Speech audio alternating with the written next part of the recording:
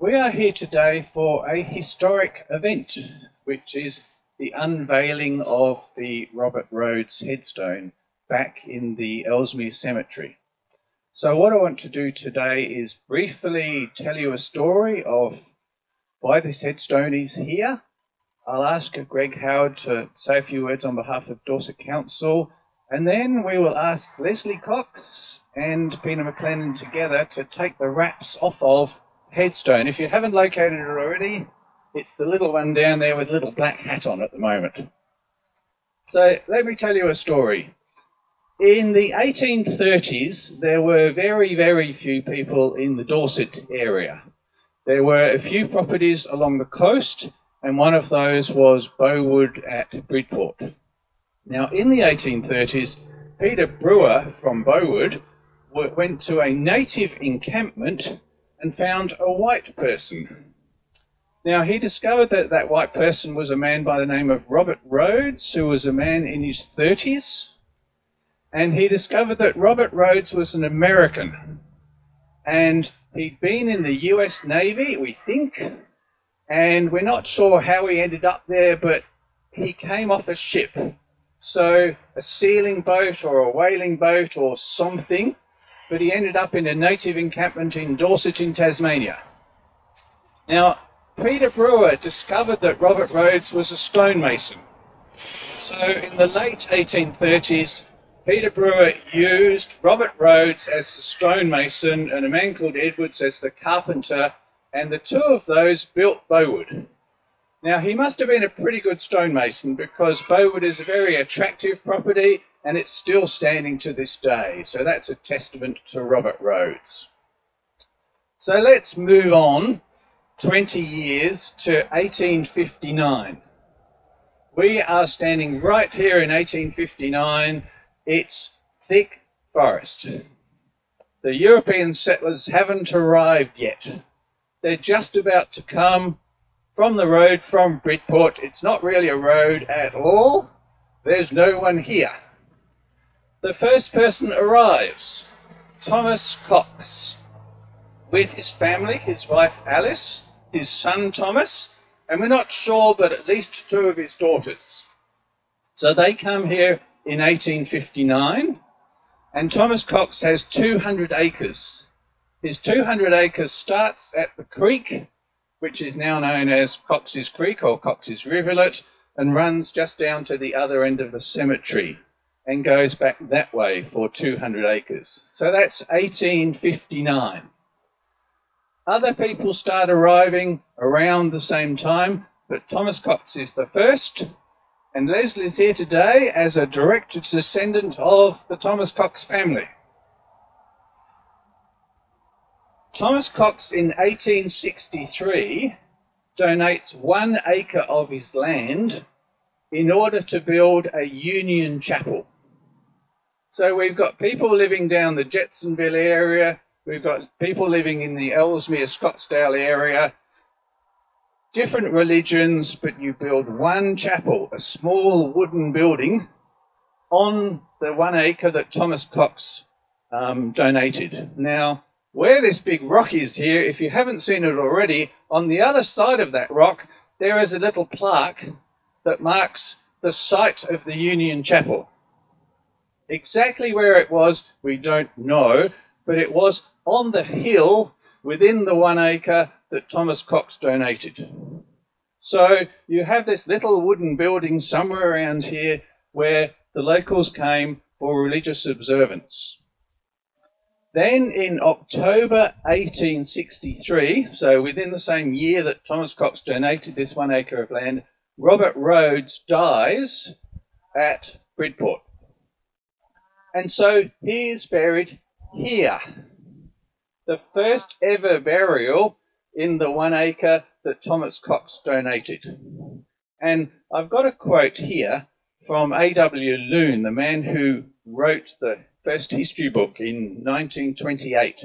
So he wrote this in 1923, 60 years after the Union Chapel was first built. A.W. Loone lived down the road here, and he came to this area with his parents. He was born in 1857.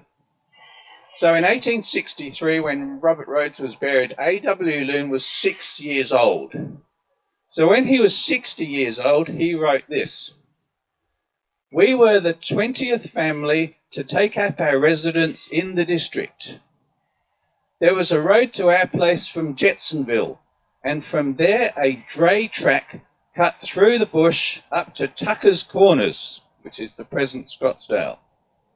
The bulk of the residents were situated then around Jetsonville and included Thomas and James Campbell, Dougal McGilp, James Shearer, Joseph Bald, John McBean, John Cunningham, Alexander Farquhar, George Tyson, Thomas Cox, William James, William Smith, Edward Bonser, Thomas Diprose, T.D. Hazelwood, Thomas Tucker, Alexander Gill, the Reverend Harris, and John Williams, and the Brewers of Bowood. Robert Rhodes was the first man buried in the district. I wasn't at his funeral, but I saw it pass along. So there's A.W. Um, Loone, a six year old boy living down the road, actually saw the procession. It would have been a fairly small one, I suspect, as Robert Rhodes' body was brought from Bridport to here. I just think that's an amazing thing. So that's Robert Rhodes. So a chapel's around here, and Robert Rhodes is buried just down there. There weren't too many burials in the cemetery in the early days. So Robert Rhodes was 1863. Jessie Crabtree was the next person buried. She was 46 years of age, also from Bridport. She was buried the following year in 1864, and then nobody is buried for the next couple of years, and then in 1866 we have two young children buried in this um, cemetery. So it's not as if there are a lot of people around in the early days, and it's not as if there are a lot of people buried here. So let's talk about what happened to this cemetery. Thomas Cox was late 50s when he arrived here. He was not a young man. Most of the people who came to the early area were young men, but Thomas Cox wasn't. He was a miller in Launceston. His thought was this area was going to take off. He would have a mill down on Cox's Creek and would process the crops for locals. His son, sadly, Thomas Cox Jr., died in 1876. He was only 39 years of age and he was the 17th person buried in the cemetery. Must be hard to donate some land and then have to bury your own son in that cemetery. Thomas Cox's wife, Alice, died in 1883. She was the 34th person buried in the cemetery, and then Thomas Cox himself died five weeks after his wife. He was 84 years of age, a decent age, and he is the 35th person buried in the cemetery. And the headstones have gone, but there's a memorial to the Coxes over on the fence over there. Now, what happened was this cemetery fell into disrepair. So after Thomas Cox died, they appointed trustees to run the cemetery. Apparently, it was never fenced. You can imagine the big old trees that were all around the Scottsdale district fell down occasionally, crushed headstones and graves and things. There are stories of terrible neglect where horses and cattle were running through the cemetery, and you can imagine with some of these how a horse or a cow could easily put their foot through, knock down headstones, and so on. So, from the old part of the cemetery, we are missing so many of the original headstones. Now, what happened was over a hundred years ago, but we don't know exactly when, the Brewer family from Bowood decided that Robert Rhodes' headstone was at risk. So they took it from here back to Bowood. So it was only in this cemetery for about 40 or 50 years and then it's been at Bowood for the last hundred plus years. So they took it back to Bowood, and that's where it's been ever since. Until Jeff Jennings talked to Shirley Brewer in the 1980s, and Shirley told Jeff this story. And Shirley, incredibly, is still alive today in Launceston at 102 years of age. Obviously, couldn't make it today, but she did send her best wishes. Just recently, I might get Jeff to tell this little bit of the story, but Jeff had this thought that I wonder if Robert Rhodes' headstone is still at Bowood. Went out to Bowood, talked to Adam, and yes, they know perfectly where it is. So, in some ways, it was never a secret. The people at Bowood always knew it was there, but it's been rediscovered.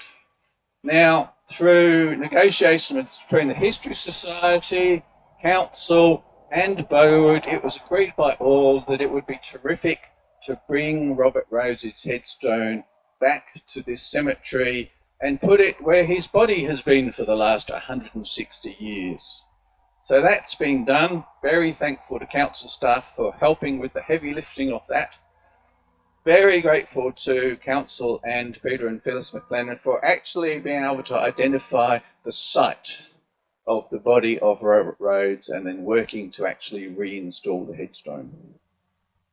So, that's the story of the Robert Rhodes headstone. It's back in its place where it was, the first ever burial in this cemetery. Does Jeff or anyone else want to say anything before I, before I hand over to Greg to say a few words? You're all good. Greg, over to you.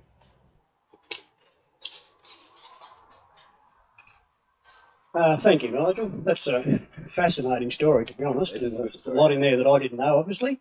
Um, highly appropriate, I suppose, that we gather here today to uh, to replace the headstone of the first resident, as you were, of the, the Ellesmere Cemetery. And um, as Nigel you rightly said, there is um, a lot of history missing from this place. Um, we've replaced one little bit of it, and um, not only are there a lot of graves unidentified, but there are a lot that are unreadable. And thanks to the work of Peter and Phyllis McLennan, a lot of those um, headstones are now readable, and um, that has um, added significantly to the history that is already known. So, um, somewhere down the track, hopefully, we will be able to identify some of those missing um, headstones and graves. I know for a fact that um, my brother is buried here. He's only a few days old when he died, and my father took took me to the grave when I was five or six years old, but of course I can't remember exactly where he took me to. And um, so I know he's buried in the cemetery, but uh, we don't know where it is, and we're assuming that it's in one of those um, babies' graves, you know, um, further over there. So, um, yeah, so great piece of history. It's good to see that the headstone's back here, and, uh, and job well done, Nigel and Peter and Phyllis, um, and everyone involved. Thank you, Greg. What we might do now is ask everyone to move down this way a bit. We'll ask Leslie to stand behind the headstone and Peter will do the unveiling of it.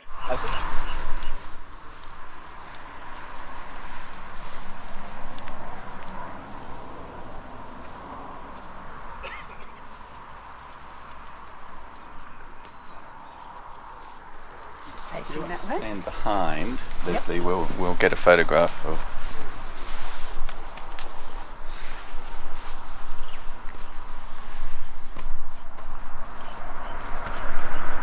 Right, if everyone's ready, we now officially unveil the Robert Rhodes headstone.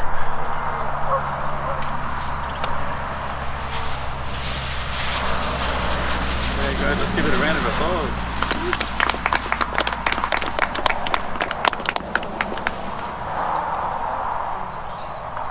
Thank you, Leslie. Thank you, Peter.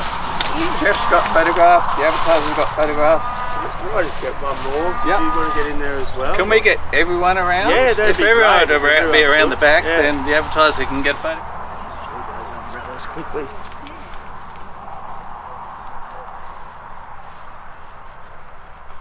I don't want them to know it was that wet, do we? No. So well, Peter.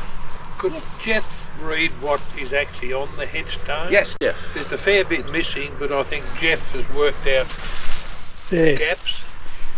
in memory of Robert Rhodes, native of Philadelphia, USN, America, who died 1st of October 1863, aged 58 years. Dearly lamented. It's either dearly or deeply lamented. Yeah. We can't We've only read the got last. the L to work with. Yeah. But deeply lamented sounds pretty good. Deeply, which is better than dearly, because I didn't mind all that. Yeah. We, we've had brief discussions and decided to do absolutely nothing more with this Not going headstone. put thing on to the first one. We, we have talked about the possibility of putting a plaque up and telling the story so that people can